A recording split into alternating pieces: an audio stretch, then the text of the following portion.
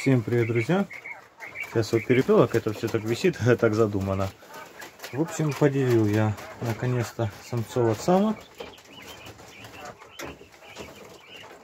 Это у меня все самочки. Решил я все-таки, что они будут наверху. А самцы вот. А вот все самцы. У меня получилось 21 самочка и 10 самцов. Самцы будут сейчас убираться. То есть мне они не нужны. Вот, они из двух клеток. Девочек нет, немножко дерутся. В общем, очень хорошо, что на такое количество, получается, у них было 31 перепелка. Нет, это самец. То есть самец уже порует самца. Как поют красиво. Ну вот, чтобы они не мучили уже девочек, пускай девочки не стрессуют, нормально несутся, самцов я убираю. Они просто не нужны мне.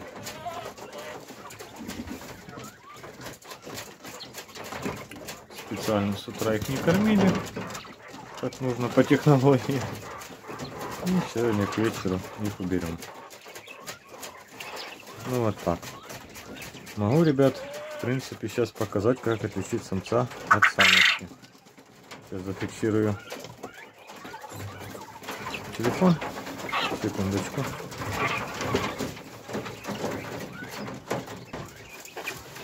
Вот, ребят, поймал самца.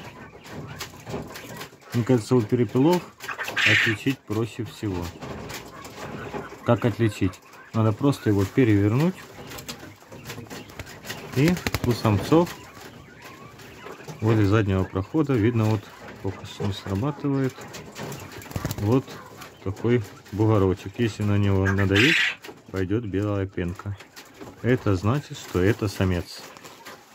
Ну, белая пенка, вы поняли, что это такое.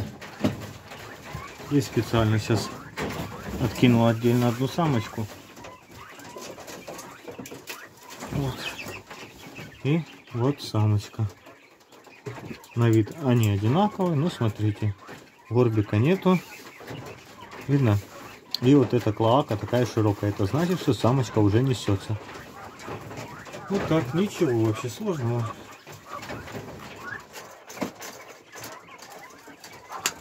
Вот, ребят, вообще ничего сложного в определении самца и самок. Повторюсь, проще всего отличать самцов от самок у перепелов. Ну, по крайней мере, мне. Вот у цесарок у меня вечно какие-то проблемы. А у перепелов отлично, я с этим справлюсь. Ну, получается у меня 21 курочка. Одна какая-то поменьше, даже две. Но их все равно оставил, может, будет нестись. Клетка как раз на такое количество очень даже подходит. Вот видите, как они пьют с непильной поилки. Вот. Все соображают, все понимают.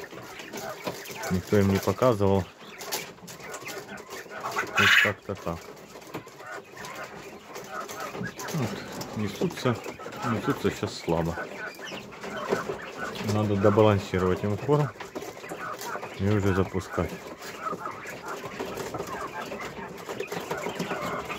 Ну и все, наверное, самцы их прилично мучили. Видно, голову немножко лысые, а это значит самцы их скублим.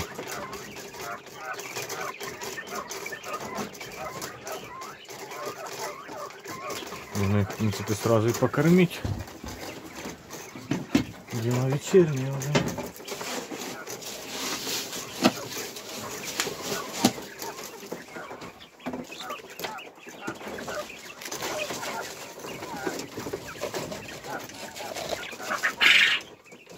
Такой примитивный кошечек с бутылки обрезанной. И работает. И ничего не надо выдумывать. Ну а самцов, само собой, никто не будет кормить. Да?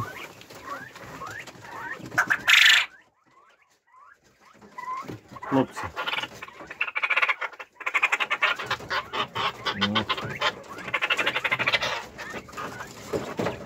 Выключим свет, пускай не стрессует и не делается.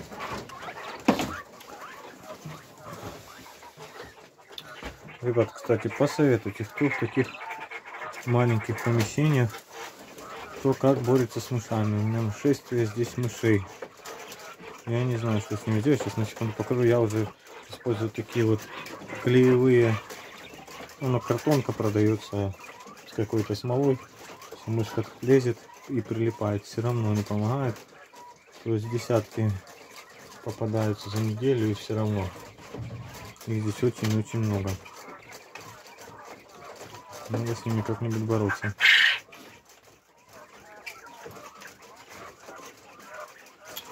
Что подскажите, кто смотрит, как борются с мышами.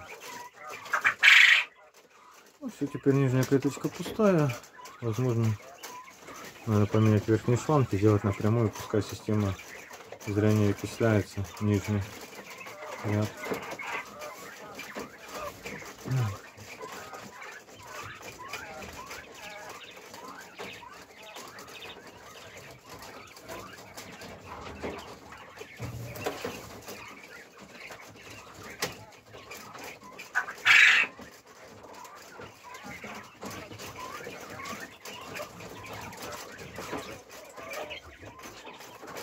Бывает у перепелок иногда пойдешь вообще по непонятным причинам.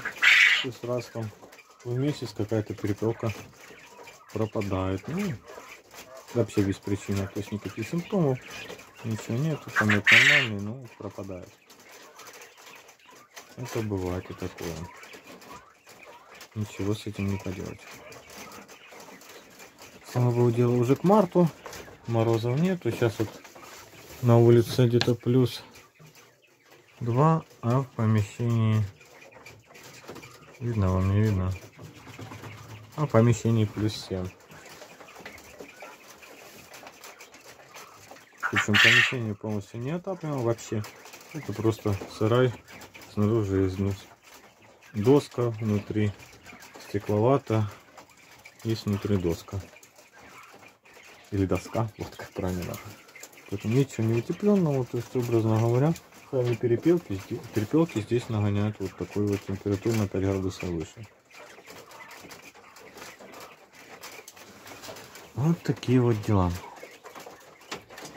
Все, ребят, перепелок рассадил, уже на 10 ртов меньше кормить. Уже легче. Все. Всем спасибо за внимание. Всем удачи и всем пока.